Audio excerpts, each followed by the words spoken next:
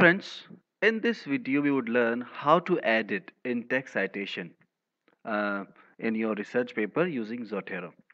So suppose friends, by mistake, uh, you had cited Fama 1970, a paper or whatever you say, you have cited by mistake. But you want to cite another paper here written by the same author, Fama 1991.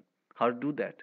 That is in, but one thing again friends here, all these papers you want to edit, change, it should be in your Zotero folder. Okay friends, so suppose I want to edit, so whatever the citation you want to edit, just click on that anywhere. Like this is the entire citation.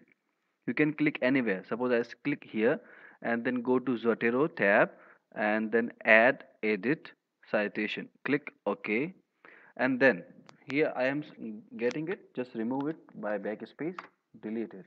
Now what you want to cite the right thing is Fama. These two papers were there 1970 and 1991 you want to cite 1991 in this way. Click on that and enter. It's as simple as we did in text citation. Uh, and the same thing you could do in the case of multiple citations as well.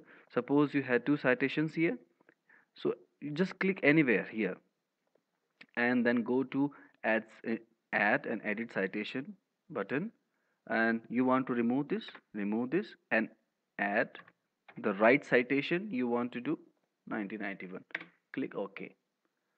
The similar changes would automatically uh, done or if we in the uh, references uh, below the document uh, you can see here friends the changes you do in in-text citation would be reflected automatically in uh, the references uh, uh, in the paper by Zotero. Okay friends, so this is the way we edit citations. In the next videos, you would learn how to set reference style and edit it. Thanks friends, stay tuned, keep in touch.